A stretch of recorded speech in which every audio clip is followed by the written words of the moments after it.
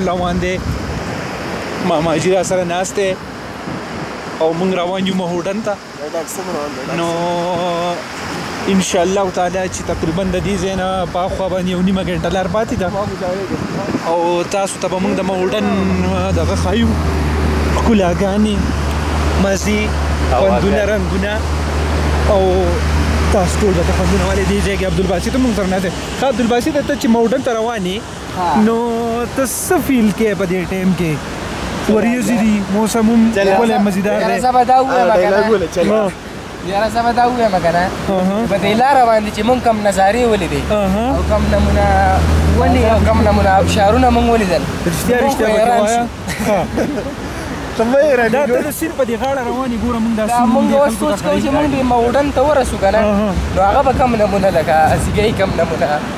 خایس وای دا غي